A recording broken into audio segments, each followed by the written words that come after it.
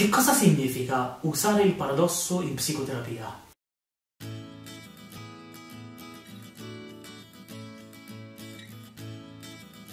Parlare di paradossi non è facile, è un po' paradossale. Questo perché il paradosso è di per sé un qualcosa di difficile, ambiguo, strano, particolare da spiegare.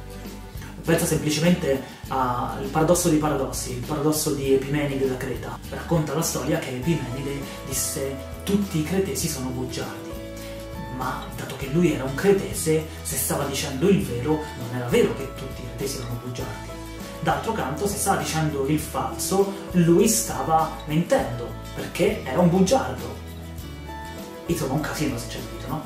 Però la cosa interessante è che i paradossi avvengono anche a livello pratico, a livello comportamentale, nella vita di tutti i giorni. Negli anni 50 Gregory Bateson e il suo gruppo di studio, conosciuto come la famosa scuola di Palo Alto, andarono a studiare come i paradossi avvengono nelle interazioni di tutto il giorno e possono creare dei veri e propri problemi. Un paio di esempi.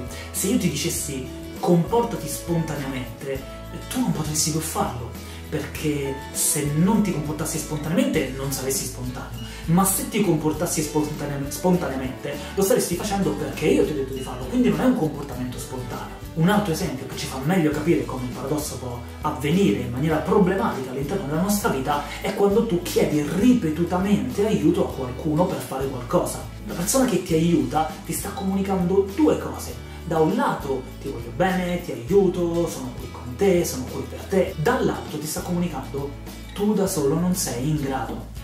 E volta dopo volta questa comunicazione è un po' come l'acqua, la goccia che scava la roccia e mina la tua sicurezza. Questo tipo di paradossi ci andiamo a incappare quotidianamente durante la nostra vita.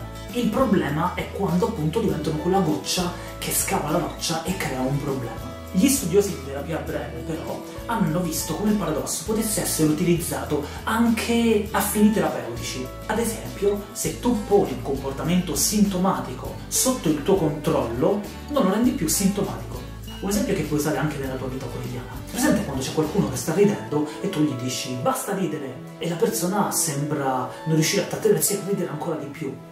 Ecco, se tu provi a dirgli dai dai continua a ridere, continua a ridere, vedrai che la sua risata piano piano si smorzerà. Lo stai inducendo a mettere sotto il controllo volontario qualcosa che dovrebbe essere spontaneo come la risata e quindi la spegni. A un altro livello, se sei una persona per esempio che arrossisce facilmente in pubblico, se provi a sforzarti di arrossire ancora di più o di arrossire volontariamente, ti renderai conto che non ci riesci, che il rossore smette di arrivare. Quindi in definitiva il paradosso, l'uso del paradosso non è nient'altro che un tipo di intervento, un tipo di tecnica, un tipo di strategia che può essere usato all'interno della terapia e che viene spesso usato nelle terapie brevi per velocizzare e massimizzare l'efficacia di ogni terapia. Non c'è niente di cui avere paura, si chiama paradosso, è una cosa che può mettere un po' di inquietudine, ma in realtà è qualcosa di semplice e utilizzato ormai da...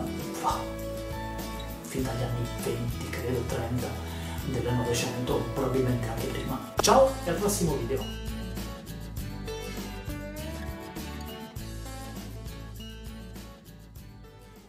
Quinto video sul paradosso.